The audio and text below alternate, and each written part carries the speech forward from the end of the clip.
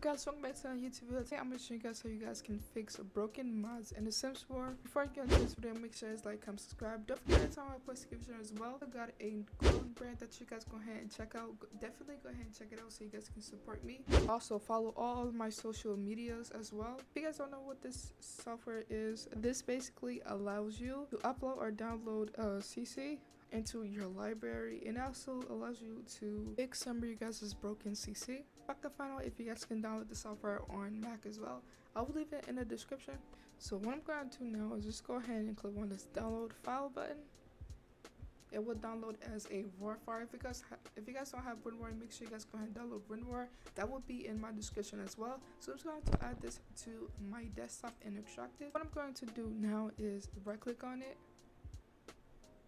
and select extract files. You guys just want to click on OK.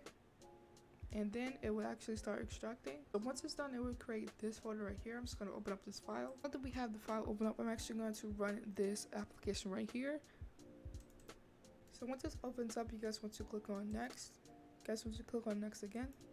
It shows up you guys can actually pick where you guys want this to install at. I'm just going to leave it in my program files and click next guys just want to click on OK. You guys just want to click on next. Just want to click on next again. Um, now I'm just going to click on install. Click on finish and open up my game and find my broken CC. For example, these shoes right here are actually broken. So what I'm going to do, actually save it. Go up here, click on save household.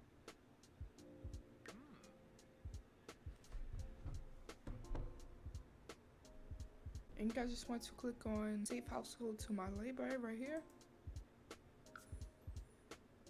Now that we've done that i'm actually going to x out of the game and actually open up our sims 4 tray application.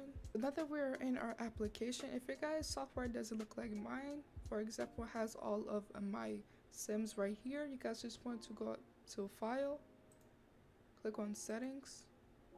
That we're in our settings tab you guys want you guys will see this little box checked off. You guys want to uncheck it and click on find. That will actually your game is installed at. So once you guys do that. Now that we got that good to go you guys want to click on the sims that had the bad cc for example mine was emor so i'm just going to click on this sim right here. To click on the cc and as you guys can see in red it actually shows you guys a whole bunch of cc that is broken. To remove the cc you guys just want to right click on it I select show containing folder and I will actually open up your mods folder where your where your CC is actually broken. So this is it right here. I'm just going to actually delete this.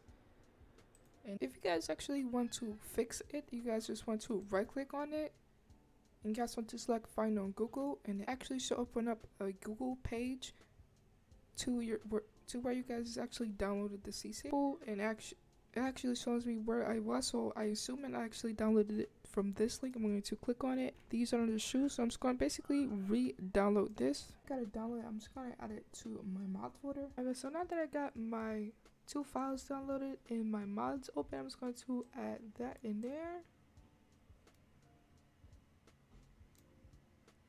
And there you guys go. And there you guys go. I just showed you guys how you guys can fix and remove your broken CC. And make sure you guys like, comment, subscribe. Don't forget to tell me post as well. And I'll see you guys next video.